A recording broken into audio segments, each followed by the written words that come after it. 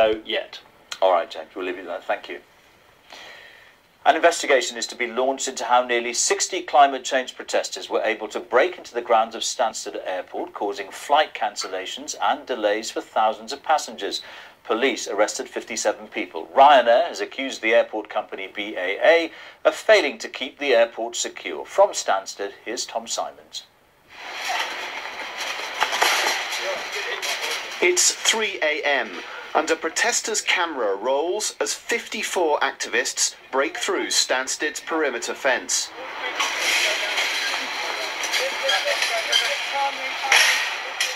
The runway's a few hundred metres from here. They bring heavy sections of railing to which they lock themselves. What all this about is highlighting the hypocrisy of the government's current plans. You know, they've got this climate change bill and yet they're still planning on expanding all the major airports in the UK.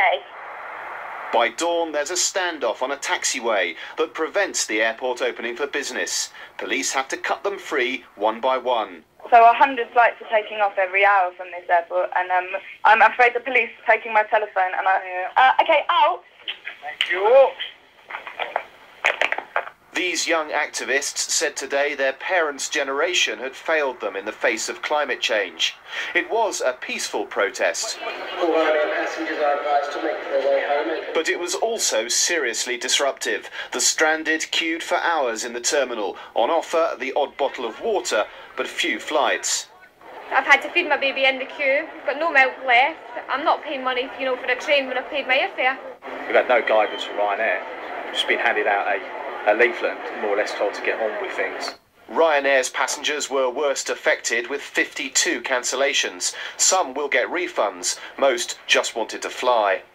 The airline bitterly criticised the airport's security procedures. The protesters managed to get through a fence here and onto a taxiway adjacent to the runway, which was due to open at 5am after maintenance. The proposed second runway, which triggered the protest, would be built here well, they've started repairing the breach in the fence from this morning, but this is a remote location, no doubt carefully chosen by the protesters. There are 18 miles of security fences around this airport, and the airport says there's always a danger someone's going to get in. What we have to do is contain that risk, and that's exactly what we did. They failed to get to the runway.